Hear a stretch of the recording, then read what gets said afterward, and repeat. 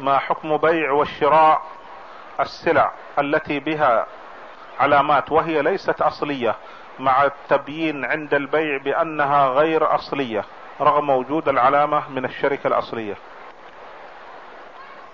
هذا من الغش. الكتابة عليها بأنها أصلية وهي ليست أصلية هذا من الغش. من غش التجار والمستوردين. ولكن إذا بين البائع للمشتري أن هذه السلعة ليست كما كتب عليها وإنما هي من النوع الردي فهذا بين.